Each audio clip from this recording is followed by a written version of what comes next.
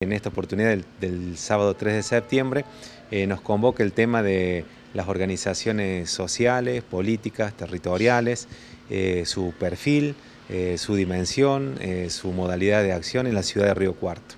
Vamos a trabajar lo que nosotros denominamos el trazado de un mapa de la acción colectiva. Esto tiene que ver con un reconocimiento recíproco con los participantes acerca de cuáles son los problemas, que abocan y que convocan al trabajo de las organizaciones, con qué recursos se enfrentan esos problemas y en qué lugares de la ciudad estamos este, trabajando sobre la base de esos problemas, riesgos, este, necesidades y demandas.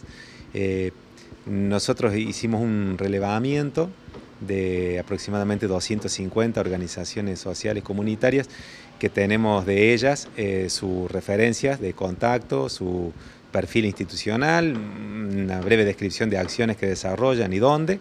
Y queremos ahora este, dar a conocer esa publicación,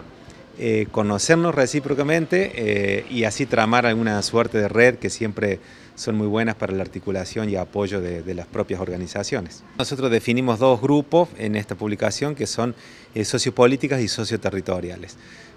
Unas con mayor vocación política y otras con mayor anclaje territorial, sin embargo, todas están trabajando por problemas comunes, por lo que suele definirse como la búsqueda de un bien común, de promover derechos, de satisfacer necesidades, algunas interpelan mucho más los modelos vigentes, ya sean económicos, políticos, otros tienen un carácter un poquito más paliativo o de asistencia respecto a algunos problemas. Algunas son formalmente institucionalizadas, otras trabajan más como grupos y asociaciones de base donde la institucionalización no es su mayor característica, algunas cuentan con mayores recursos, otras con menos. Y la idea es tratar de plasmar esto en alguna gráfica, tipo lo que llamamos cartografía,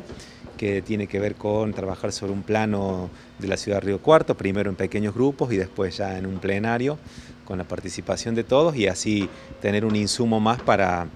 para este, darlo a conocer y para añadir a, la publicación nuestra que es, es siempre, nosotros decimos que está muy viva porque es siempre actualizable.